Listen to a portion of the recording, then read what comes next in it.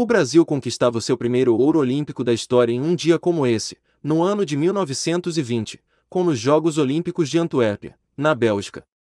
O feito do tenente Guilherme Paraense ocorreu na prova de pistola rápida. Ele ainda levou o bronze por equipe na prova de pistola livre. A delegação brasileira nesta Olimpíada teve apenas sete integrantes, que viajaram por conta própria. Depois da viagem de navio até Lisboa, eles tiveram que pegar um trem até a Bélgica para chegar a tempo para a disputa. No caminho, tiveram suas armas roubadas e passaram por várias dificuldades. No dia da competição, usaram armas emprestadas dos norte-americanos, a quem acabaram derrotando.